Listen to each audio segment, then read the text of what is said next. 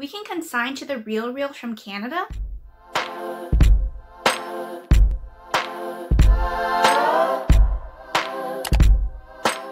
Hey everyone, welcome back to my channel. It's Jasmine. For those who are new, I am a casual reseller on the US and Canadian Poshmark app as well as eBay.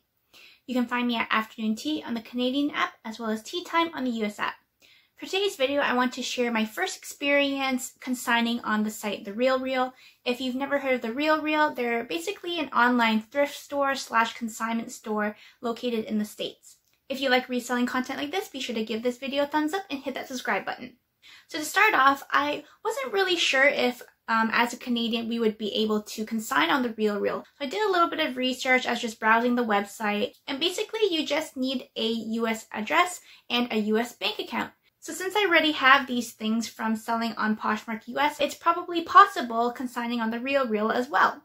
So in order to consign on the Real Real, the steps that you have to do is um, once you are on the website, you do have to create an account. Once you create an account, there is an option to either shop on their website or to consign with them. So basically you just have to click the option, I think it says sell with us or something like that, and you create an account. You just have to make note that there are only certain brands that they will accept. So they do provide a list of certain brands that they accept on their website. Once you accumulate the items that you want to consign with them, you basically just have to create a manifest or a list of the items that you want to send in.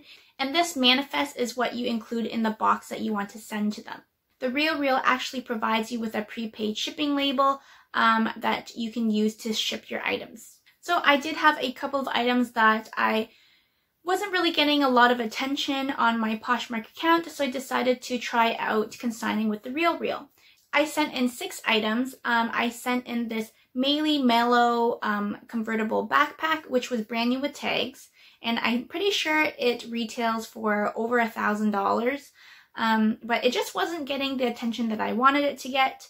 I sent in one Akris Punto wool jacket. I sent in an Akris Punto skirt and I think this was also wool as well. I sent in a pair of Burberry Brit jeans, and I sent in two Diane Furstenberg skirts.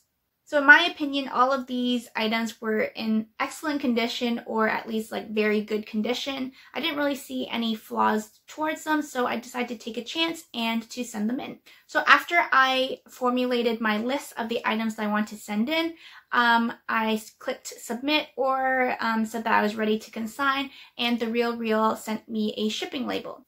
One thing that I did like about the Real Real was that somebody contacted me right away via email and um, by phone as well, um, just to make sure that if I had any questions with consignment, um, with the whole process, that I would be able to contact them with any questions that I had. The bad thing though is that um, after I initially responded, I did have a question about um, the process of what happens after my items are sent in, and I didn't really receive a response afterwards. So it seems to me that they kind of are very eager to make that initial um, interaction and they didn't really follow up after that. But anyways, so after I put all my items in the box and I printed out the label that the Real Real sent to my email, um, I basically just used the third party shipping company that I always do for my Poshmark US packages and it was shipped away. So I believe I shipped out my package on either a Thursday or a Friday and it actually arrived at the Real Real facility on Monday. So once it did arrive, I did receive an email saying that it had arrived. And the next steps after they received your items, they have to go through all the items, make sure that they're authentic and they meet their qualifications and their standards of listing on their website.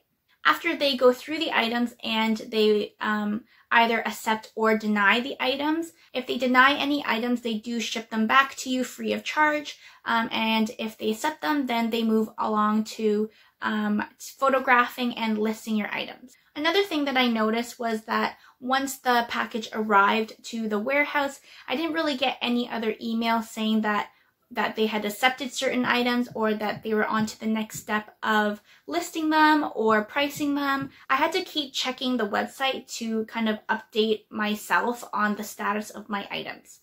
So out of the six items that I sent in, they actually ended up accepting all six of them Um, and it took about a week before I saw any other updates on the status. Um, it just said that they had accepted all the items and I was just waiting for um, any future updates. It's not like I was checking every day, so I'm not sure if it actually happened earlier than that, but I would say the process took about a week. So now that my items are accepted, they continue to um, price them accordingly based on what they are selling the items for on their website, and um, they continue to photograph them. So at this current moment, um, I believe four out of the six items are listed, but two of them still have to be priced and um, photographed. As for the rates that I will receive once the items do sell, when I first created an account, it said that my commission rate was 55%, but when I actually see the items that are currently listed, it says that I'm only going to get 40%. I believe that the more you consign with them, the higher the commission rate you will receive. I think you have to meet a certain dollar amount before you can move to the next level, but I guess we'll see once I maybe get there or maybe if I don't. As for the prices that they are listing my items, right now I only see a couple of the items. I have a Max Mara blazer, um, which I forgot to mention before, but currently this is listed for $115 US. I did have this listed on my Poshmark closet, but I guess this brand doesn't really do that well on Poshmark, so I decided to send it in. Um, a couple other things that are currently priced are my Diane uh, Furstenberg skirts and the Akris Punto skirt, and those are all listed for $50 US. So it's kind of nice that they're listed in US, just so that um, when I do convert it into Canadian, I gain a little bit more back than um, what the typical 40% will be. And again, I just used my TransferWise account that I already have set up for my Poshmark US, and I just inputted my TransferWise information into my real real banking information so that when an item does sell, it will just pay me directly to my TransferWise account. I guess that's really all that I have to say regarding my first experience with the Real Real. I'll probably do a part two when something sells or hopefully everything sells just to do an update of kind of my profit margins, if it was kind of worth it. So far, just because my cost of goods is pretty low because I had thrifted all of these items, I'm hoping that I will be able to make a decent amount on these items, especially because I tried to sell them myself and they weren't really getting a lot of attention. So for just being able to ship these items and getting paid for it, I mean, it's kind of an easy way to get at least my money back um, on the items that I had invested in or to make some sort of profit. If you have any questions regarding selling on the RealReal, feel free to leave your comments below. I might not be able to answer them because it is just my first time, but um, if you are Canadian, just know that it is um, an option for you if you do tend to pick up more expensive brands or more desirable brands that the real real does accept. And again, thanks for watching and I'll see you in my next one. Bye.